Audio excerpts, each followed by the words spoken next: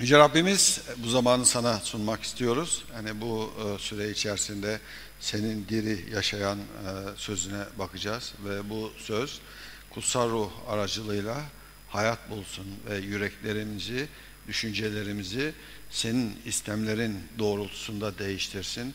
Sana itaat edebilmek için bize güç versin diye İsa Mesih senin adına dua ediyorum.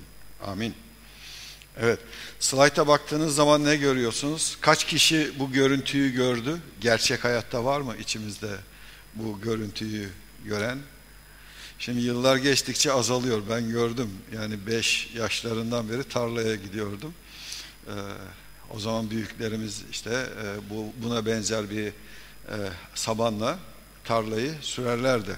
Şimdi size İncil'den bir hikaye e, okuyacağım. Aslında şey hikaye değil, gerçek bir olay. İsa Mesih ise gelip e, onunla konuşan e, kişiler var. Onu izlemek isteyen kişiler var.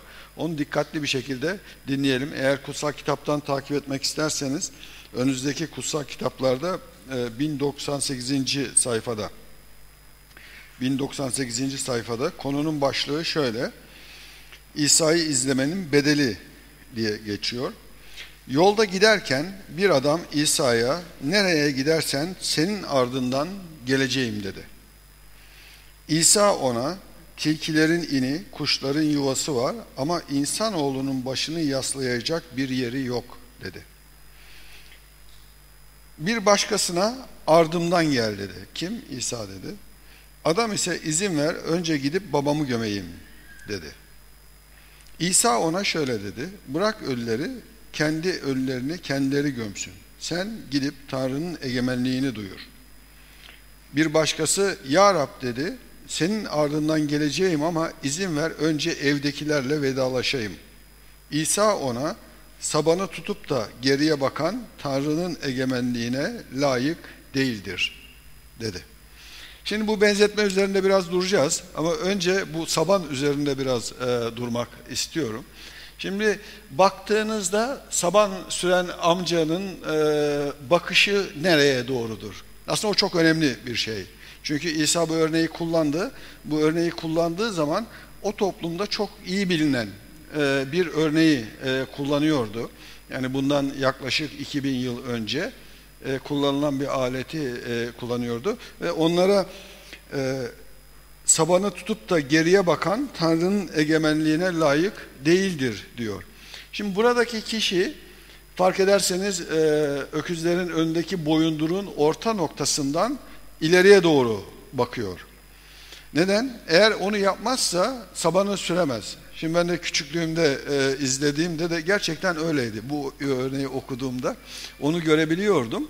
E, saban süren o boyunduruğun ortasından bir nokta alır kendisine ve o noktaya bakarak gider. Bakmaz yere aşağıya, arkaya arkaya hiç bakmaz da. Yani diyelim bazen taş çıkar, bir şey takılır ya da sert bir durum vardır. Yine de hep karşıya bakar. Yani böyle işte biraz daha destekleyerek ittirmeye çalışır. Bunun nedeni e, bu sürülen e, çizginin doğru olması için. Eğer önüne bakarsa doğru şey yapamaz, süremez. Yani doğru olması için tek bir noktaya bakması lazım.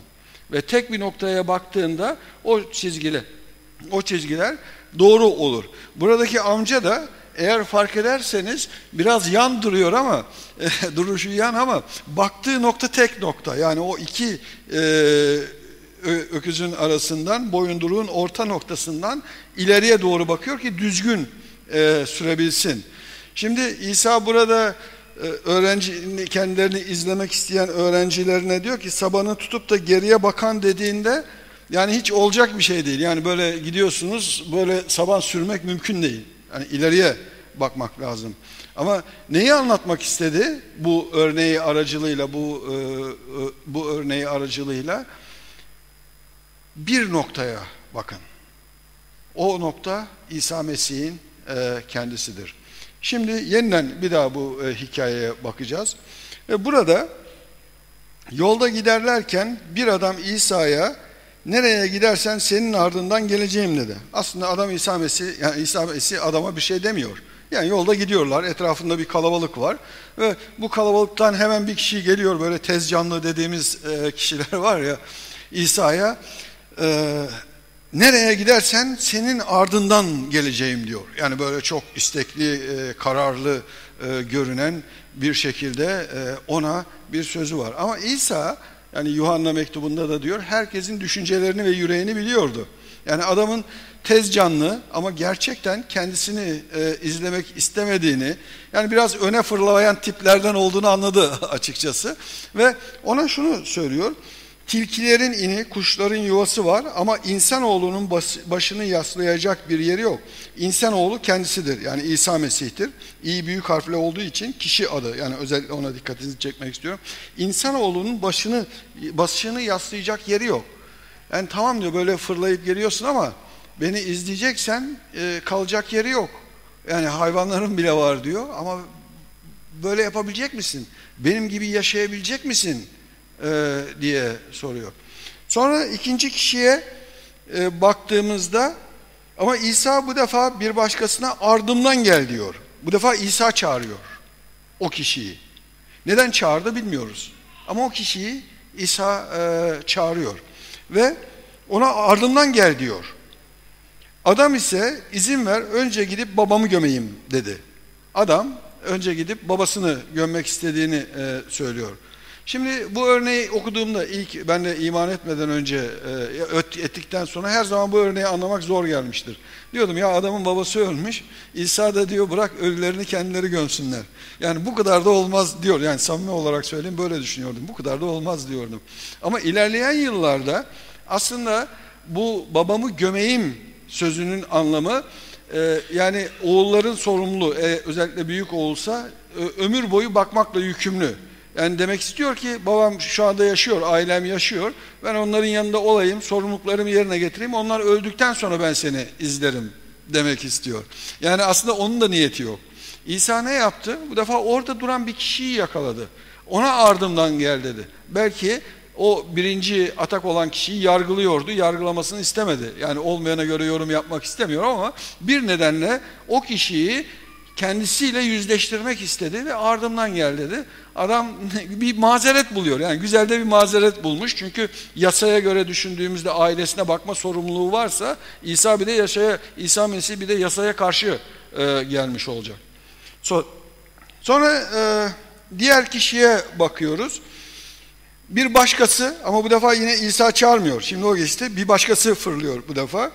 Diyor ki Ya Rab senin ardından geleceğim ama izin ver önce evimdekilerle vedalaşayım. Yani bu ne yaptı?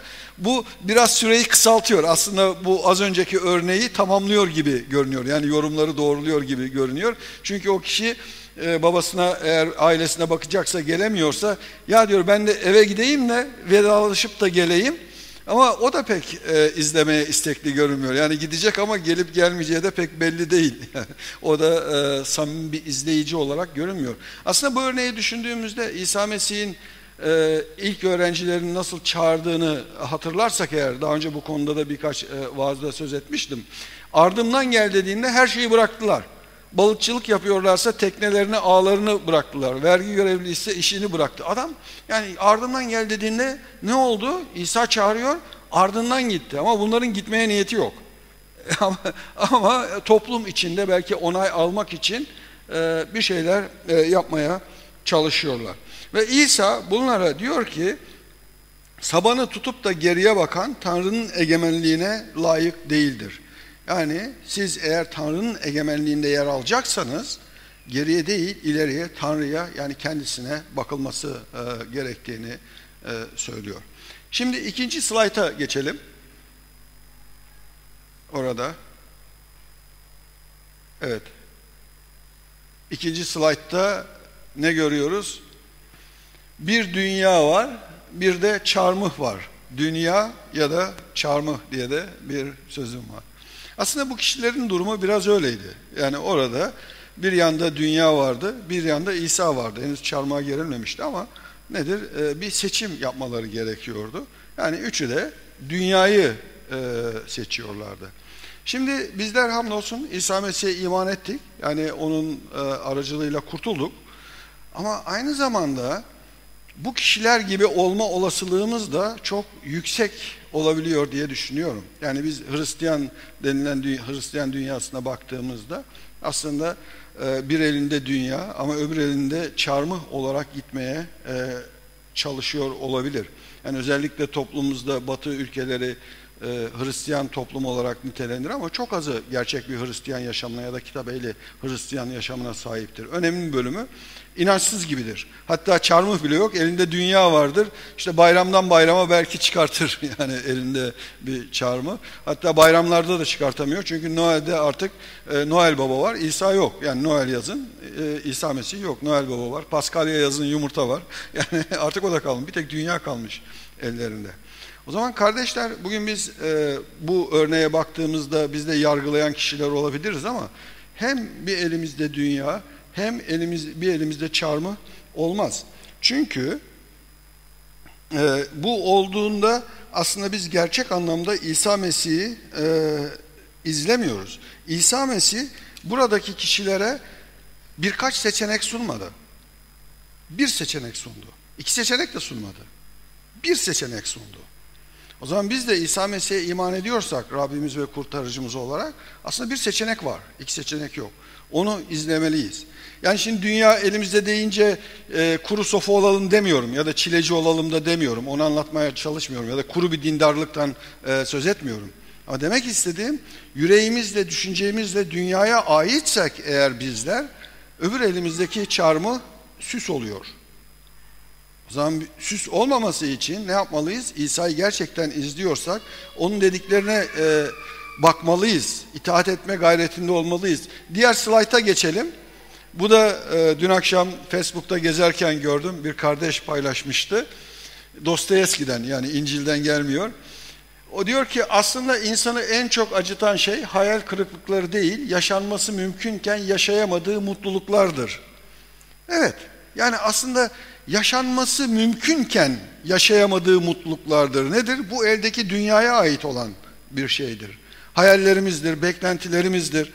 Ee, bunların olması günah değil. Yani eğer bir put yerine geçmiyorsa tabii ki onu söylemek istiyorum tekrar. Yani amacım e, şey yapmak değil. Ama e, öyle bir şekilde e, oluyorsa hayallerimiz işte mutlu olmak istiyorum, her şey benim olsun, her şey dediğim gibi oluyorsa gibi bir anlayış içerisinde oluyorsa o zaman aslında biz bir elimizde dünyayı tutuyoruz. Yani mutlu olmak iyi bir şey. Ama eğer Rab'le birlikte değilsek zaten biz e, mutlu olamayacağız. Diğer slayta geçelim.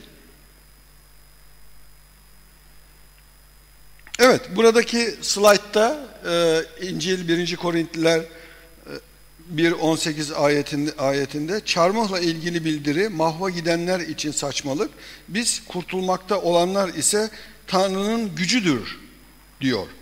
Biraz bu ayetin üzerinde durmak istiyorum. Yani çarmıha odaklanmak için bunun üzerinde durmak istiyorum. Çünkü biz iman ettiğimiz zaman işte diyorlar ya nasıl iman ediyorsunuz? Ya da buna nasıl inanıyorsunuz? İsa Mesih'in günahlarını üstlendiğini söylüyorsunuz. Böyle saçma bir şey olabilir mi? Ben abartmıyorum onlarca kişiden duydum. Yani yüzlerce de desem e, yalan söylemiş olmam. Saymadım şimdiye kadar ama. Yani böyle söylüyorlar. Bu saçmalığa nasıl inanıyorsunuz?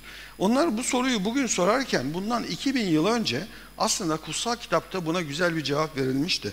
Diyor ki 1. Korintlilerde 1. bölüm 18. E, ayette Çarmıhla ilgili bildiri mahva gidenler için saçmalık, biz kurtulmakta olanlar ise Tanrı'nın gücüdür. Hani Tanrı insanlara günahlardan böyle bir kurtuluş hazırladı. Bu sana saçma gelebilir. Ama bu Tanrı'nın tasarısıdır. O zaman bu Tanrı'nın bilgeliğidir. Ve bilgelerin bilgeliğini yok edeceğim, akıllıların aklını boşa çıkaracağım diye devam ediyor. Hani nerede bilgi kişi? Din bilgini nerede? Nerede bu çağın hünerli tartışmacısı? Tanrı dünya bilgeliğinin saçma olduğunu göstermedi mi? Evet. Hani eğer elimizde dünya varsa ve dünya bilgeliği dediğimiz e, şeyde varsa Tanrı bunun saçma olduğunu söylüyor. Çünkü eğer gerçekten bilge olsa Tanrı'yı tanır.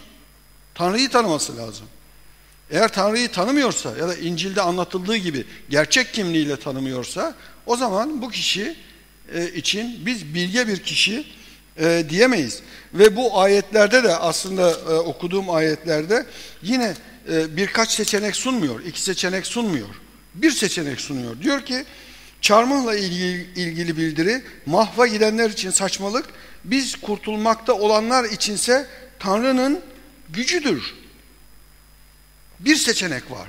Ya mahva gidiyoruz, gidiyorsunuz ya da kurtuluyorsunuz. Başka bir seçenek yok. Tıpkı İsa'nın o örneğinde anlattığı gibi. Yine 21. ayette şunu diyor. Madem ki dünya Tanrı'nın bilgeliği uyarınca Tanrı'yı kendi bilgeliğiyle tanımadı, Tanrı iman edenleri saçma sayılan bildiriyle de kurtarmaya razı oldu. Saçma sayılan bildiriyle kurtarmaya razı oldu. Yani sen istediğin kadar saçma de, kutsal kitaptaki gerçeklere göre tek kurtuluş var. Bu da Mesih'in ölüm ve dirilişine, günahlarımıza karşılık ölüm ve dirilişine iman etmektir. İkinci bir yol yok. Üçüncü bir yol yok. Tek yol var.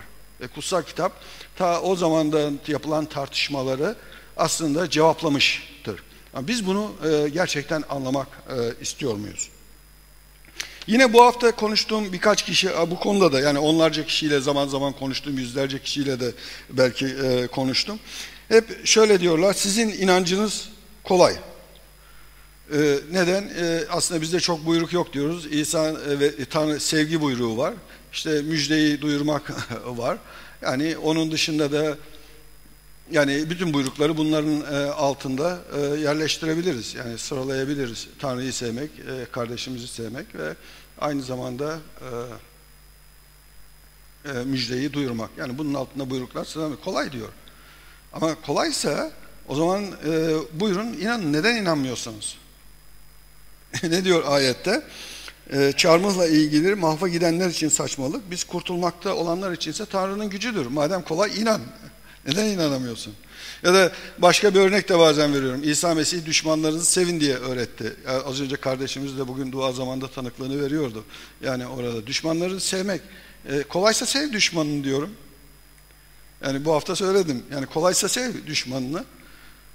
Düşmanına iyi davran demiyorum. Düşmanını sev. İsa Mesih farklı bir şey öğretiyor kolaysa. Yani gidin şöyle ibadet et böyle yap demiyorum. Şunu yap demiyorum. Kolaysa düşmanını sev. Demek kolay değil. Yani bizim inancımızda bir zorluk var. Çünkü biz fedakarlık yapmadığımız sürece, kendimizden vazgeçmediğimiz sürece İsa Mesih'i izleyemeyiz. Tıpkı o e, üç kişide olduğu gibi. Yani mazeretlerimiz olabilir ama e, İsa Mesih'i gerçek anlamda e, izleyemeyiz. Eğer İsa Mesih'i gerçek anlamda izlemek istiyorsak kendimizden vazgeçmeye e, hazır e, olmalıyız. Diğer slayta geçelim.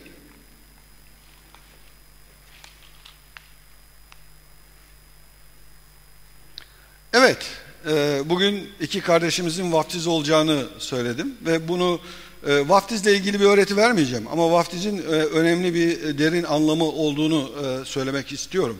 Yani bizler vaftiz olduğumuzda buradaki ayette de yazdığı gibi vaftizde onunla birlikte gömüldünüz. Onu ölümden dirilten Tanrı'nın gücüne iman ederek onunla birlikte dirildiniz diyor. Evet hamdolsun. Bu birçok kişiye inanmak için zor ya da anlamsız gelebilir. Ama gerçekten biz günaha karşı e, ölüyorsak bu Mesih'te gerçekleşiyor. Ve biz iman ettiğimiz için de buna e, kurtuluyoruz. Koleselilere mektup yani elimizdeki kutsal kitaplarda 1267. sayfada e, şunu anlatıyor. E, ikinci bölümden başlayarak altıncı ayetten e, başlamak istiyorum. Bu nedenle Rab Mesih İsa'yı nasıl kabul ettinizse onda öylece yaşayın. Şükranla dolup taşarak onda köklenin ve gelişin. Size öğretildiği gibi imanda güçlenin. Evet yani İsa'yı gerçekten izlemek istiyorsak burada bize birkaç prensip veriyor. Hangi prensipleri veriyor? Ee, nasıl kabul ettiyseniz yani iman ettiyseniz onda yaşayın, şükranla dolup taşın ve köklenin gelişin. Ne de imanda köklenip gelişmekten e, söz ediyor. İsa'yı izleyeceksek. Yine e, devam ediyor 8. ayette dikkatli olun bir uyarı veriyor. Yani bunu bizlere ve kutsal aracılığıyla Tanrı sözü bu uyarıyı veriyor bugün. Mesih'e değil de insanların geleneğine, dünyanın temel ilkelerine dayanan felsefeye, boş ve altadıcı sözlerle kimse sizi tutsak etmesin. Evet burada da e, bazı uyarılar veriyor. Nedir? Bir tanesi dikkatli olun diyor. Mesih'e değil de insanların geleneğine, dünyanın temel ilkelerine dayanan felsefeye, boş aldatıcı sözlerle kimse sizi tutsak etmesin. Üç tane konu var. Nedir? Ee, bir tanesi insanların geleneğidir.